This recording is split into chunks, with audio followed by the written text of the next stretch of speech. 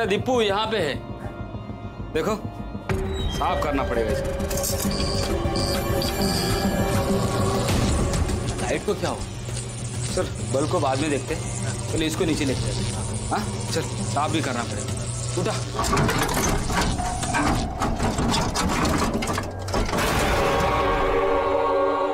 अरे रामू, दीपू, मिला कि नहीं?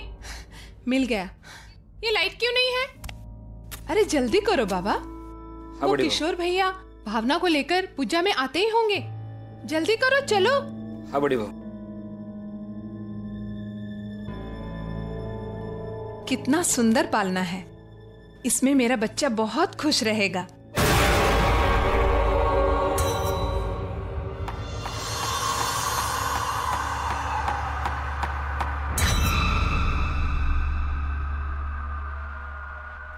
चलो जल्दी इसे नीचे लेकर आओ। हाँ बड़ी बहू चलो।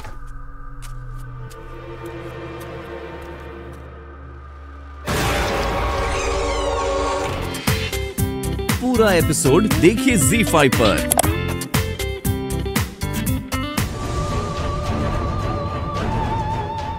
सारी मुसीबत की जड़ ये पालना ही है। मुझे कुछ करना होगा।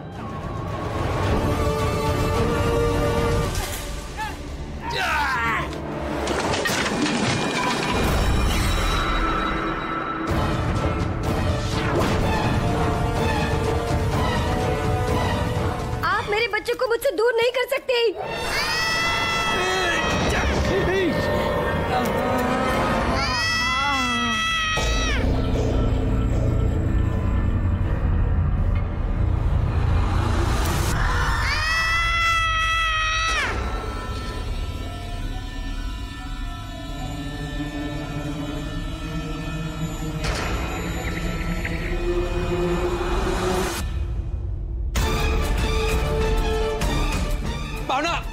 उसे चला दो।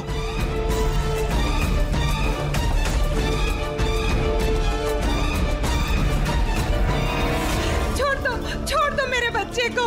भावना मैं कह रहा हूँ उसे चला दो। नहीं नहीं मैं मैं मैं इसे नहीं चला सकती। भावना मेरी बात सुनो भावना। देखो उसमें उसमें उसकी आत्मा है। उसे जला दो उसे मुक्ति दे दो। किशोर इसमें भाभी के बच्चे की आत्मा बसी हुई है।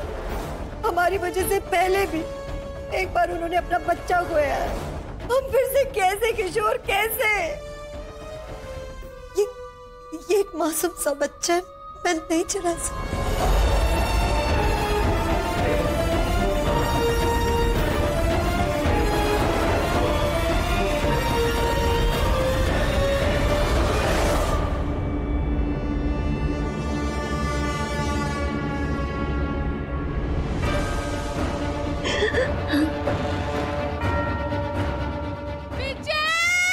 किरण ये क्या कर रही हो तुम? किसी माँ से उसके बच्चे को छीनने का तुम्हें कोई हक नहीं है। मेरा बच्चा! तुम्हारा दिमाग खराब हो गया। हमारा बेटा मर चुका है किरण। और ये जो बच्चा तुम्हें दिख रहा है तुम्हारा वहम है वहम। कोई और अगर गलत काम करता है तो इसका ये मतलब नहीं कि हम खुद गलत राह पर चले ये जो कुछ भी तुम कर रही हो ये सब गलत है। अब इसका अंत मुझे ही करना है। नहीं बेटा नहीं अपना बच्चा है वो। भैया भैया चला दो भैया छोड़ना नहीं। भैया भैया चला दो छोड़ना नहीं भैया।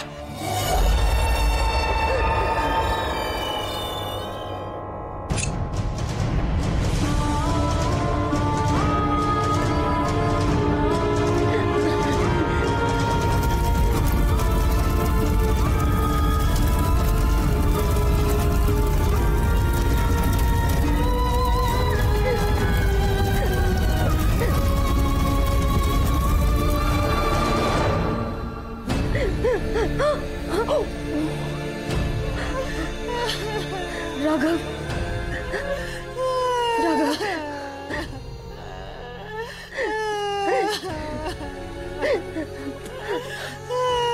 मेरा बच्चा। अब क्या आदेश है बाबा? दो दिन बाद महा अमावस्या की रात है।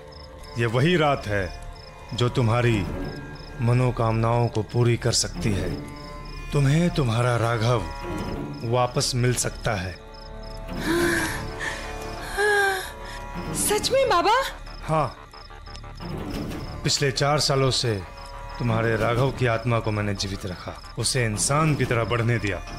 और अब उसकी आत्मा को एक शरीर की ज़रूरत है। इसलिए तुम्हें तुम्हारे देवर के बच्चे की बलि देनी होगी। बिल्कुल बाबा। मुझे तो इसी दिन का इंतज़ार था। अब मुझे मेरा बच्चा वापस मिल जाएगा। मेरा मेरा राघव मुझे वापस मिल जाएगा। और और मेरे प्यारे देवर देवरानी को सबक मिलेगा।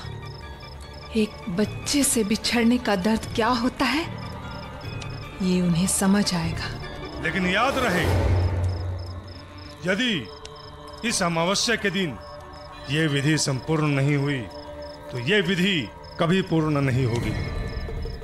तुम्हारा बच्चा कभी जीवित नहीं हो पाएगा। कभी नहीं। आप बिल्कुल चिंता मत कीजिए बाबा। ये विधि पूरी होकर रहेगी। ये एक माँ का वादा है।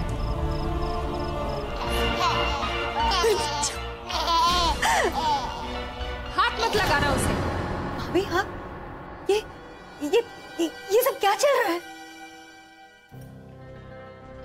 अच्छा हो गया तुमने पूछ लिया। वरना मेरे ये पूजा पाठ के बारे में एक ना एक दिन तुम्हें पता ही चलता। पूजा पाठ? हाँ। काले जादू को वैदिक तंत्र को आप पूजा पाठ कहती हैं। भाभी आप तो कितनी समझदार थी। आप आप इन सब चक्रों में कैसे पड़ गए? खुद ये सब करती हो और मुझे पूछ रही हो?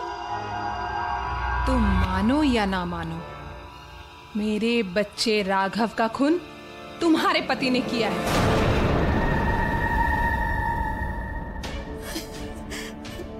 नहीं भाभी नहीं।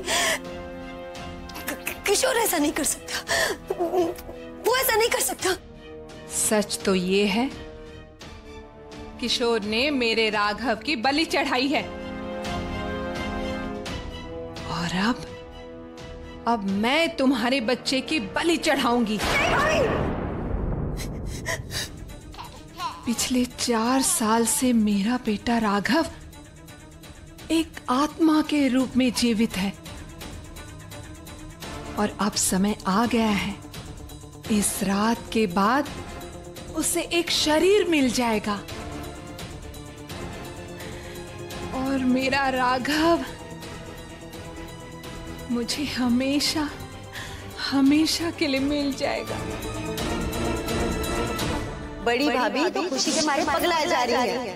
जैसे कि उन्हीं की गोद भराई की रस्म हो। हम इसका नाम राघव रखें। उसे नए चेहरे की आदत नहीं है ना? शायद इसलिए रो रहा है। ये सब दवाई की वजह से। है मैं आज से राघव का ख्याल रखूँगी। शिफ्ट करो। राघव आज से मेरे कमरे में रहे। इसका मतलब भाभी ये ये सब कुछ नाटक था। ये ये सब कुछ दिखावा था। आप मेरे बच्चे के साथ ऐसा क्यों करना चाहती हैं?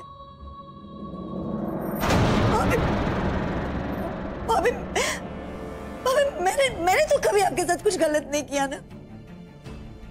तुम्हारे पति ने तो किया था। उसने मेरे बच्चे की जान ली है। खूनी है वो। किशोर। पालने को हाथ मत लगाना। किशोर! किशोर भाभी को समझा वो क्या कह रही है? वो क्या बोले जा रही है? किशोर कुछ बोलो भाभी को बोलो। बाद में किशोर कुछ बाद में भावना पूरा एपिसोड देखिए जी फाइव पर